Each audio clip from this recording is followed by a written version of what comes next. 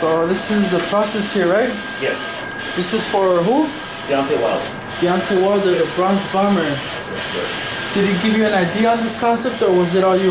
Yeah, Everlast sent me that, that he's wearing on his shoes. Yeah. So I try to try to match his Oh, shoes. okay. Yeah, I try to match his shoes. So uh, I just wanted to match Uh, his shoes. when, when you first did one for Wilder, uh, recall to me those steps that you had that you weren't too Oh, sure yeah, what was going didn't- on. I, I didn't have him because he's from Alabama, so I didn't have Yeah. him personally to Measure him. measure him. Yeah.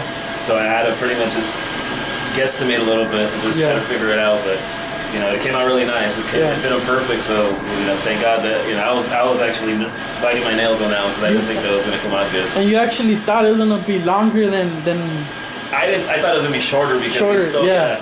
And then again, I don't want to do it too long, you Yeah. know. So, uh, but it fit him perfectly, and uh, he loved it, and uh, that's how we're doing it again, you know. He said to defend his uh, WBC heavyweight title against Artur Szpilka. Uh-huh. Uh, how do you see that fight playing out?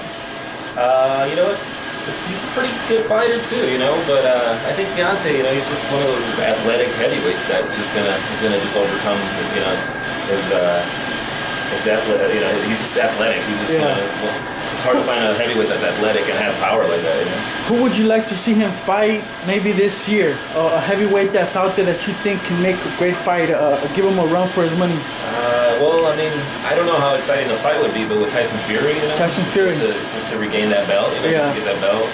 Um, you know, what, the, what, what's the Cuban guy's name? Ortiz. Luis Ortiz, yeah. That'd be a good fight too. Power versus power, you know, finesse. You know, uh, Ortiz knows how to hit. He's really, you know, he's really he moves around the ring really good. You know, and Deontay also. You know, so we'll see.